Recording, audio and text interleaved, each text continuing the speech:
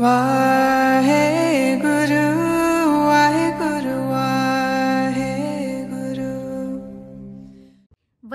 का खालसा, वाहेगुरु जी की फतेह। My name is Jasdeep Kaur I am a career counsellor wellbeing coach and a public speaker today is morning hukamnama from Shri Darbar Sahib Amritsar is by Shri Guru Ramdas ji in raag Jaitsri ang six ninety six of Shri Guru Granth Sahib जी ਪੜ੍ਹਦੇ ਹਾਂ ਸਮਝਦੇ ਹਾਂ ਫਿਰ ਆਪਣੀ ਜ਼ਿੰਦਗੀ ਵਿੱਚ ਅਮਲ ਕਰਦੇ ਹਾਂ ਸਤਨਾਮ ਸ਼੍ਰੀ ਵਾਹਿਗੁਰੂ ਸਾਹਿਬ ਜੀ ਜੈਤਸ੍ਰੀ ਮਹੱਲਾ ਚੌਥਾ ਕਰ ਪਹਿਲਾ ਚੌਪਦੇ ਇੱਕ ਓੰਕਾਰ ਸਤਿਗੁਰ ਪ੍ਰਸਾਦ ਮੇਰੇ ਹੀਰੇ ਰਤਨ ਨਾਮ ਹਰ ਬਸਿਆ ਗੁਰ ਹਾਥ ਤਰਿਓ ਮੇਰੇ ਮਾਤਾ ਜਨਮ ਜਨਮ ਕੇ ਕਿਲ ਬਿਖ ਦੁਖ ਉਤਰੇ ਗੁਰੂ ਨਾਮ ਦਿਓ ਰਿਨ ਲਾਤਾ ਮੇਰੇ ਮਨ ਪਜ ਰਾਮ ਨਾਮ ਸਭ ਅਰਥਾ ਗੁਰਪੂਰੇ ਹਰ ਨਾਮ ਦ੍ਰਿੜ ਆਇਆ बिन नावे जीवन बिरथा रहाओ When true Guru placed pious hand on my forehead, divine Naam jewels started pulsating in my heart. Huge debt of cumulative sins of countless incarnations was cleared by Naam, gift bestowed by Guru. O oh, my mind, always recite pervasive Naam God's divine Naam, which bestows all comforting boons. Perfect Guru affirmed symphonic Naam within me, without which precious human life is wasted. Now let's relate this with our day-to-day life so that we can implement it today. So today's Hukamnama is a beautiful distinction of importance of Naam, importance of Guru's guidance, following it and implementing Gurbani in our day-to-day life. What does Guru mean? Gu means darkness, Ru means dispeller. So, dispelling the darkness. So, darkness is not in existence by itself. It is the absence of light.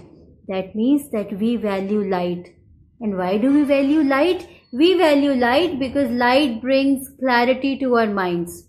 That means that we don't value the light also. We value clarity. It's beautifully mentioned in the Hukamnama by Shri Guru Ramdas Ji. Janam janam ke kil bik dukh utre ਗੁਰੂ ਨਾਮ ਦਿਓ ਰਿਨ ਲਾਥਾ ਸੋ ਸਾਡੀਆਂ ਜਿਹੜੀਆਂ day to day life ਦੇ ਜਿਹਨੂੰ ਅਸੀਂ ਵਾਈਸਿਸ ਕਹਿੰਦੇ ਆ these are R habits ਔਰ ਅਗਰ ਅਸੀਂ ਦੇਖੀਏ ਡੇ ਟੂ ਡੇ ਹੈਬਿਟਸ ਸਾਡੀਆਂ ਕੀ ਨੇ ਵਿਚ makes our life unworkable like laziness carelessness ਆਪਣਾ ਕੰਮ ਕੰਪਲੀਟ ਨਾ ਕਰਨਾ ਟਾਈਮ ਸਿਰ ਕਿਸੇ ਨੂੰ ਜ਼ੁਬਾਨ ਦੇ ਦੇਣਾ ਫਿਰ ਉਹਨੂੰ ਪੂਰਾ ਹੀ ਨਾ ਕਰਨਾ ਆਪਣੇ ਵੱਡਿਆਂ ਦੀ ਰਿਸਪੈਕਟ ਨਾ ਕਰਨਾ, ਕਿਸੇ ਨੂੰ ਫੋਰਗਿਵ ਨਾ ਕਰਨਾ, ਕਿਸੇ ਬਾਰੇ ਮਾਰੀਆਂ ਮਾਰੀਆਂ ਇੰਟੈਂਸ਼ਨਸ ਰੱਖਣਾ, ਕਿਸੇ ਬਾਰੇ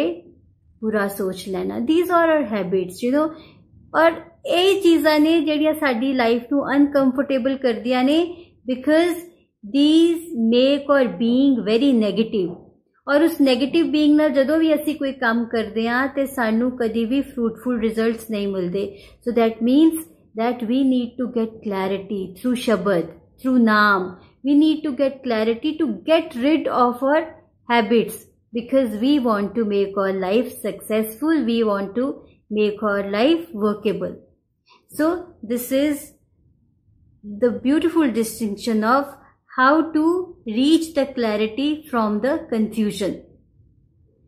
And Naam, Simran, this play a huge role ਜਦੋਂ ਤੁਸੀਂ ਨਾਮ ਸਿਮਰਨ ਕਰਦੇ ਹੋ ਅੰਦਰੋਂ ਇੱਕ એનર્ਜੀ ਐਕਟੀਵੇਟ ਹੁੰਦੀ ਹੈ ਜਿਹੜਾ ਸਾਡਾ ਬੀਇੰਗ ਸ਼ਿਫਟ ਕਰ ਦਿੰਦੀ ਹੈ ਬੀਇੰਗ ਵਿੱਚ ਪੋਜ਼ਿਟਿਵਿਟੀ ਆ ਜਾਂਦੀ ਹੈ ਬੀਇੰਗ ਵਿੱਚ ਹਿਊਮਿਲਿਟੀ ਆ ਜਾਂਦੀ ਹੈ ਹੰਬਲਨੈਸ ਆ ਜਾਂਦੀ ਹੈ ਔਰ ਫਿਰ ਜਦੋਂ ਅਸੀਂ ਉਸ ਬੀਇੰਗ ਨਾਲ ਕੋਈ ਵੀ ਐਕਸ਼ਨ ਲੈਂਦੇ ਆ ਤੇ ਸਾਨੂੰ ਰਿਜ਼ਲਟ ਬਹੁਤ ਅੱਛਾ ਮਿਲਦਾ ਹੈ we get rid of our habits those habits which make our life unworkable, we move towards workability. And when we move towards workability, then we can ensure growth in our life.